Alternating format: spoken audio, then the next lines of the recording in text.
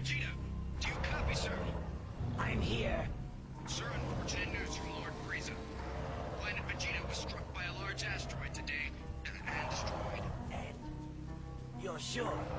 Affirmative, sir. Lord Frieza sends his sympathies and regrets. As of now, you're the only known survivor.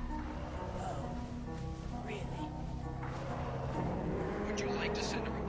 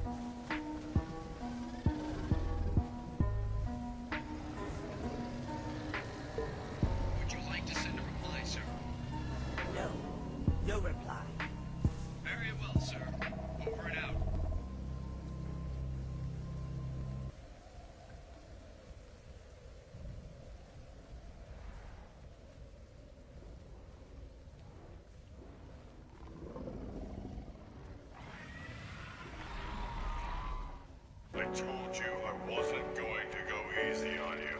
You're on your own. You can't leave